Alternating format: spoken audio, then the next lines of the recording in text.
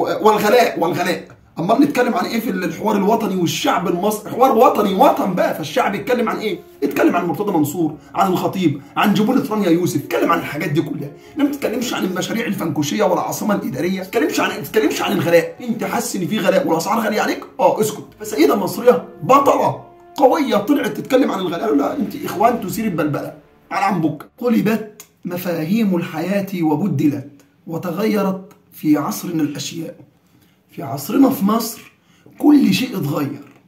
اللي يتكلم عن الحق أصبح عميل واللي يساند الباطل أصبح وطني. واللي يتكلم عن الغلاء وارتفاع الأسعار أصبح إخوانيا. واللي يطبل ويقول لك مصر بتتقدم وبتتطور أصبح مواطن شريف. قلبت مفاهيم الحياة وبدلت وتغيرت في عهدنا أو في عصرنا الأشياء. تغير في مصر كل شيء. الجاهل بقى هو المتعلم المقرب من السلطة والمتعلم بقى هو المنبوذ اللي مفروض يبعد عن السلطة علشان ده عايز يهدم الوطن. في عهدنا وفي عصرنا في مصر مع الحكم العسكري كل شيء انقلب رأسا على عقب من بداية الانقلاب العسكري في 2013 فيديو لسيدة مصرية خرجت تتكلم عن الغلاء. انت يا أخي المواطن يا اللي بتأيد عبد الفتاح السيسي خلاص أنا مش هقول لك يا برز أنا هقول لك النهارده يا مواطن. يا اللي بتأيد عبد الفتاح السيسي مش انت معترف ان في غلاء وبتقول ان هو غلاء عالمي موجود في الفلبين غلاء موجود في لكل مكان غلاء؟ مش انت مقتنع ان في غلاء والغلاء ده عالمي؟ خلاص انت مقر ان في غلاء. واحدة سيدة مصرية خرجت تتكلم عن الغلاء ده وكانت بتبكي زعلانة مستاءة مش عارفة تصرف مش عارفة تعيش مش عارفة تأكل أولادها. ده جزء من الفيديو بتاعنا. السجن والموت أهون بكتير من العيشة اللي إحنا عايشينها. بجد صعب قوي لما عيلة يجي يطلب منك أكل ولا يجي يطلب منك حاجة ولا تعليم إن أنت مش قادر تعمل له حاجة. الست دي خرجت تتكلم بالشكل ده؟ فما كان من وزارة الداخلية المصرية العظيمة إلا وكانت قبضت على الست وقالت ديت إحنا قبضنا عليها مش عشان بتتكلم عن الغلاء أمال إحنا قبضنا عليها علشان خاطر هذه السيدة إخوانية.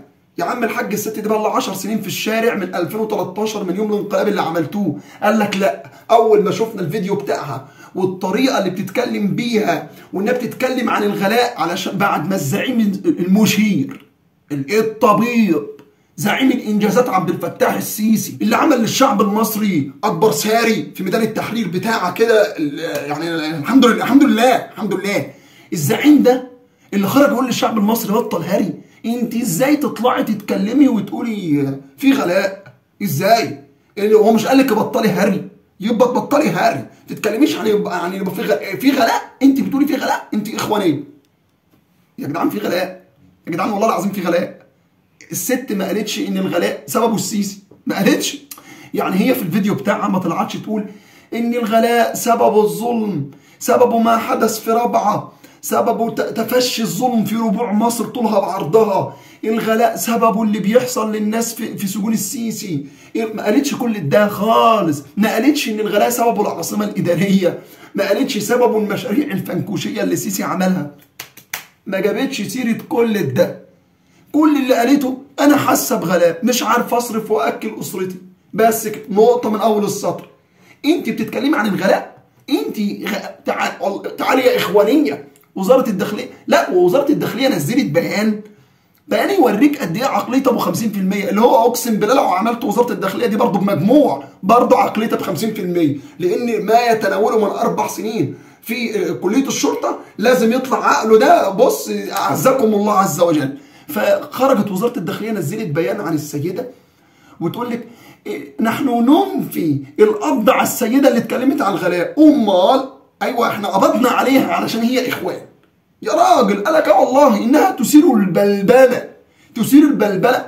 الله أنت إزاي تتكلمي عن الغلاء؟ غلاء؟ مصر مفيش فيها غلاء. أنت تثير البلبلة. الجنيه المصري زي ما أنتم شايفين. مش قال لك هيبقى الدولار ب 4 جنيه؟ أهو بقى 44 بس. فأنت بتثير البلبلة. أنت بلبلة. انت أنت بلبلة والله. رغيف العيش العظيم. العظيم اللي تقلص تقلص تقلص وغلي وغلي بالبلبلة. أنت السولر السولر مش كان اللتر بجنيه دلوقتي بقى بكام؟ يعني بقى ب 8 جنيه. انت تثير البلبلة ورفعنا جنيه فانت تثير البلبلة. فإحنا قبضنا عليكي لانك تثير البلبلة مش لإنك بتتكلمي عن الغلاء. لا ما أنا فعلا كنت بتكلم عن الغلاء. الست كانت بتتكلم عن الغلاء. قال لا لا لا, لا إحنا قبضنا عليك عشان أنت بتثير البلبلة. فقلبت قلبت مفاهيم الحياة وبدلت وتغيرت في عصرنا الأشياء. كل شيء في مصر مع عبد الفتاح السيسي اتغير اتغير. خلاص بقى إحنا قلنا آخر المواطن السيساوي. تعالى بقى. يا برص اتغير الوضع في مصر يا برص لدرجة إنك ما بقتش لاقي الأكل. يا برص فمش قادر تطلع تتكلم عن الغلاء. علشان لو اتكلمت عن الغلاء فأنت إخواني عميل تثير البلبلة. يا عم مش أنتوا بتقولوا دول العالم فيها غلاء؟ ما تتكلمش يا برص هو وصل مع عبد الفتاح السيسي مع البراس بتوعه للمرحلة دي. اللي يتكلم عن الغلاء؟ إخواني. اللي يقول فيه كذا بلبلة. طيب في الوضع الراهن اللي انت فيه كمواطن برص بتأيد السيسي انت متخيل بس انت وصلت لمرحلة إيه؟ انت مطلوب منك تروح أمام اللجان تهز. طيب بعد ما تهز إذا اتكلمت انت اخواني ما تتكلمش عن ارتفاع الأسعار ما تتكلمش عن انهيار الجنيه أمام الدولار ما تتكلمش عن اللي حصل في الدقيق وارتفاع أسعار الدقيق ما تتكلمش عن عمرو أديب اللي بيقول لك في ارتفاع أسعار مرتقب. والله العظيم عمرو أديب قال كده غير الحلقة بتاعت اول امبارح اللي سجلتها لكم. لا قال كده امبارح. قال لك إن في ارتفاع أسعار تاني. أحمد موسى اللي هو إذا ضربت مثلا التطبيل والتعريض هتلاقي فيه اتنين منافسين. أحمد موسى ومصطفى بكري. الاتنين مقرين إن في غلاء. في غلاء بس بيقول لك غلاء عالمي. فست طلعت تتكلم من باب إنه غلاء عالمي. من باب الفيديوهات اللي بنشوفها للمواطنين الروس وبيتكلموا عن الغلاء أي نعم ما فيش فيديوهات بس يعديها. من باب الغلاء اللي بنشوفه للمواطنين الأمريكان والمواطنين البريطان وهم بيتكلموا عن الغلاء. أي نعم ما فيش فيديوهات بس يعديها غلاء عالمي. فطلعت سيدة مصرية بتتكلم عن الغلاء العالمي. خدها يا ابني على عنبكه على عنبكه ليه؟ اديها تهمة إثارة البلبلة والحديث عن الغلاء. انت عارف إن الغلاء ده أمن قومي استراتيجي ممنوع حد يتكلم عنه. ممنوع. فاللي هو ما تتكلميش. نو نو ما حدش ينطق حاجة عن الغلاء. ممنوع تتكلم عن الغلاء. يا جدعان إحنا عندنا حوار وطني. أيوه ما هو الحوار الوطني ده حط محاذير ما حدش يتكلم عنها. الدستور وسياسات مصر الخارجية والأمن القومي المصري. امال طيب والغلاء والغلاء. ضموها ضمن محاذير الحوار الوطني. سيدة مصرية بطلة. طلعت تتكلم عن الغلاء أخذوها على عنبكه انت تثيرين البلبلة في دولة تتطور وتستيقظ وتعمل جمهورية جديدة بكبر واتخن واعرض مع الإبراز السيسوي. سلام عليكم.